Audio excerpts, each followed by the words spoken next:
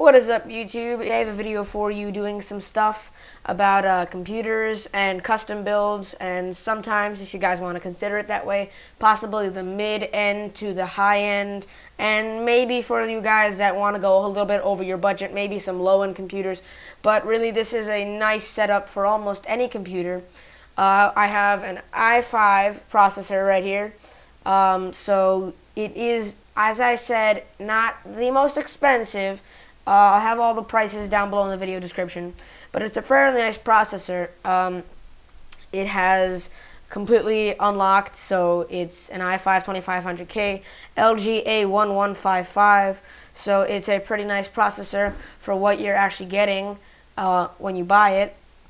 And it's uh, actually the cool thing about it. I'm not going to actually say the cool thing about it is processor itself. The great thing about it is the warranty. I bought this at Micro Center, and for those of you guys that are computer techs and stuff like that, you probably know what Micro Center is. But Micro Center is basically the place where you get all your computer parts, all that stuff, kind of like Newegg, except they don't ship out. It's a physical store where you go to them and they have all that stuff. And this processor was 3.3 gigahertz and had a 6 megabyte cache. So I thought it would be pretty good for what I'm building. I'm building, I'd say, maybe a little bit under a $2,000 machine. And it should last me a couple of years to say the least. But the two year warranty on this thing is great. If I break it, and they don't even care in which way I break it, they will completely replace it. And depending on the time that I buy it, if there's already a newer model of this exact model that I have right here, they will not only replace it, but they will also upgrade it. And I will have a better model for absolutely no cost at all, unless it's like tax and stuff. But it's a two year warranty, and this should last you at least two years. And unless you do something stupid with this, like overclock it to 10 gigahertz, there should not be anything wrong with this because it is a pretty good processor. So you shouldn't do stuff that makes it purposely die. But if you're just wondering and you do happen to do something like that by, like, say, doing some weird stuff and for some reason overclocking it way too much, it burns out, you'll be able to get a full upgrade on it. Uh, so that's what's cool about Micro Center. That's why I recommend going there. Uh, they do have, I believe, a cheaper price than Newegg, so that's why I went there. Uh, yes, uh, you cannot ship out from Micro Center. So if you're wondering, no, you will not be able to. So that's what is the only problem with Micro Center, but otherwise, pretty nice. So we'll get on to the uh, motherboard now. This is an MSI Z68A GD65 uh, G3. So it's got a bunch of fancy logos, I guess. Uh, five-year warranty. So the five-year warranty is really nice.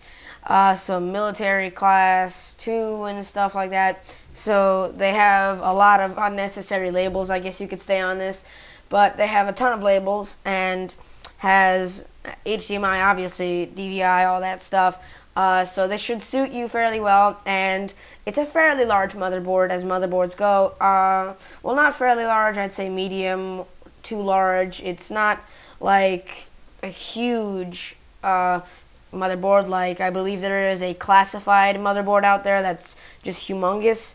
Um, I think classified is the name of it, but this isn't some major macho one, but mine will fit most likely in my case because I have a huge case. I have the NZXT Phantom, so it should fit even though it is a large motherboard uh, in my opinion. Uh, so we got cables here. This is where all your gonna cables are gonna be routed out to. Uh, yes, you do actually have three, a USB 3.0, so USB 3.0 is really nice to have. Speeds everything up, but um, only problem with it, well, not a problem, it's just that hardly any device nowadays is USB 3.0. So most devices aren't USB 3.0, but it doesn't really matter that much. So we have a bunch of pamphlets, we got tons of cables, so it's just a lot of cables. Uh, that's the USB 3.0. So I don't know if you guys can see that, but that does say USB 3.0.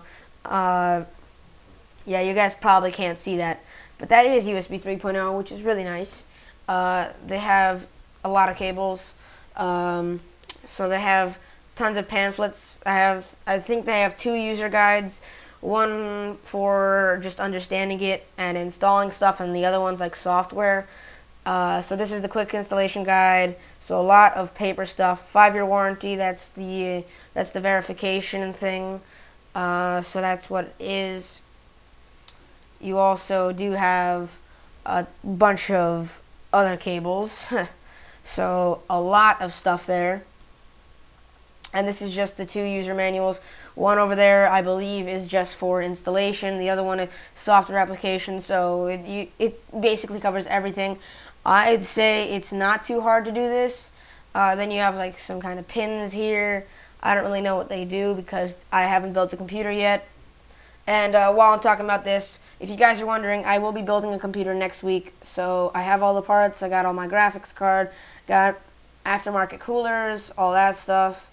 Uh, that's the SLI, I think, transfer for the video card or something like that. Um, so that's what you're going to do. That's from MSI. I'm hoping those are twist ties. Correct me if I'm wrong, but those kind of look like twist ties. Uh, correct me if I'm wrong again because this is my first computer build. Then we have just like uh, that said remove here. So that is probably some kind of cover for the uh, processor. That is drivers and utilities DVD. And that's just a receipt that you guys probably don't care about. So lifting up the cardboard, yes, I already did install the processor if you guys are wondering. So that is why you might be wondering why there is a ton of stuff there. So there is the processor installed. Uh, pretty, not that heavy of a mother of a motherboard, but it's pretty large. I'd say maybe foot or something like that, maybe a foot and a half. I didn't exactly measure it, but judging, it's a like it's a square and it's fairly large, so I was able to judge that. You have HDMI, all the stuff you would expect with your standard motherboard. Uh, for two hundred dollars, which is what this costs, it's not it's not like overdoing it, but it's it's definitely passing expectations in my opinion. Uh, so.